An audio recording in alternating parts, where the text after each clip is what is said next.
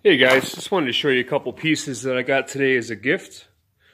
My dad and his girlfriend uh, showed up and they each had uh, an item here. They went to an antique store. Um, Cape Vincent, New York is where they were. These are the 12 inch um,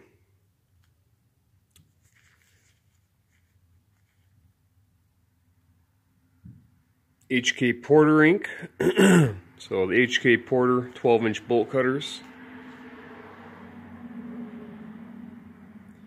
See the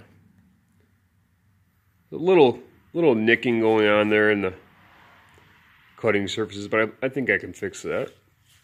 What's cool about these is the the logo there on the handles. So these are these are cool. I don't I don't think they paid much for them which is good. But um, this is my first set like this. I, have yet to come across a, uh, pair of these. I want to say that Scoutcrafter did a video on these, if I'm not mistaken. Um, John, comment if you did. I'm pretty sure you did, but I'm not sure if they're the same size as this or not. But I'm going to obviously uh, take these apart, clean them up. And the other item was, uh, this is an old uh, oil can. One gallon liquid, U.S. legal.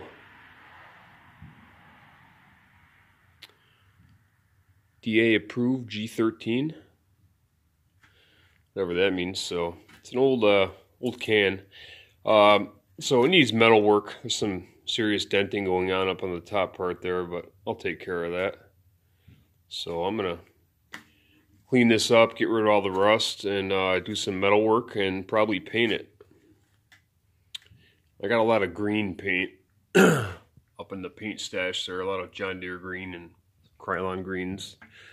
And I'm itching to use, so I'll probably do green and I'll do the lettering, I'm thinking white. So, just wanted to show you those two items real quick. I got to get back on this fan. It's giving me trouble here. Um, so it's a three-speed fan. Uh, three fans coming from the motor windings, three wires coming from the motor windings down to this little switch down here. And uh, everything is working, but uh, I know these aren't known to be pretty accurate as far as their speeds, but on the high setting, it's low. On the medium setting, it's the fastest and on the low setting it's eh, a little bit faster than about in between in the middle. So I've flip-flopped everything and you know this is exactly the way it was when I got it. So I don't know what's what's going on here. I tried switching around these three wires here. That didn't do anything. Um, if anyone has any suggestions uh, definitely let me know. I will not give up. Um, disregard the coloring on the these wires. They're um, identified as A, B, and C, not hot, common, and, and ground. Um, I just wanted to use a normal wire for the head wiring. Uh, this wire here is the actual power. So I got a lot of time in. I'm trying to get out of the way of the shadow. I got a lot of time into this thing here, and uh, it's driving me nuts. You know, I took pictures for reference beforehand, and you know everything is exactly the way it was. Uh, the only difference is the wiring is new. So,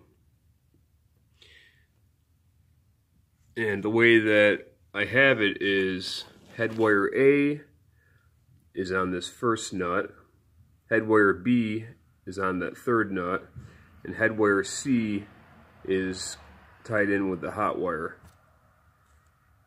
And like I said, it turns on and runs and and every speed and oscillates. It just uh, the speeds aren't right, and I, I, don't know. But otherwise, the fan's beautiful. It's done other than this, and I'm you know I've taken this thing apart probably 30 times or more.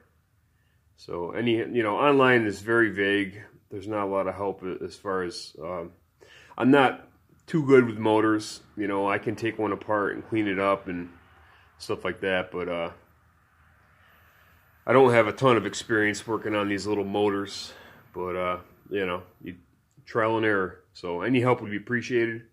And uh, as always, thanks for watching and have a great night.